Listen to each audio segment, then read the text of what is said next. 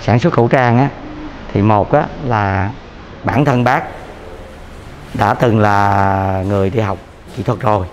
Do vậy đụng tới vấn đề này thì thấy đây là vấn đề thực sự cần thiết mà trong tay mình cảm nhận rằng mình có khả năng mình làm điều đó.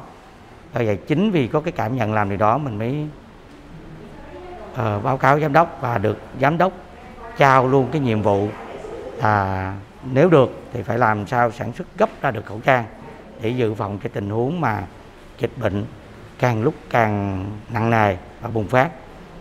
Đặc biệt là khi tình huống xấu nhất xảy ra tức là bệnh viện sẽ không còn khẩu trang y tế hoặc là còn rất ít chỉ dành cho những nhân viên trực tiếp tiếp xúc với bệnh nhân. Còn lại những nhân viên ở vòng ngoài thì sẽ sử dụng những cái khẩu trang do bệnh viện sản xuất. À, như chúng ta đã biết về hình hài ở xung quanh này thì các bạn sẽ thấy nó rất ôm kính. Ha, ôm kính cái chỗ cái phần của chúng ta. Như vậy là nó đã kính. Phần thứ hai còn lại phụ thuộc vào chất liệu của khẩu trang. Và như tôi đã nói cái phần phía ngoài bây giờ để tránh cái giọt bắn thì chúng ta phải sử dụng vải không dệt loại chống thấm. Và như chúng ta thấy đây là cái vải không dệt chống thấm. Còn cái lớp thứ hai có thể là lớp tiệt khuẩn chống khuẩn nhưng mà thực sự bây giờ, về mặt virus, thì chúng ta khó để đánh giá được. Cái lớp thứ ba là cái lớp hút. Khi chúng ta thở, thì với giai đoạn này thì tôi nghĩ là chỉ cần hai lớp. Còn nếu mà chúng ta thấy rằng là cần phải cải tiến nữa thì tôi có thể cho thêm một lớp thứ ba nữa, tức là lớp hút ẩm ở phía trong.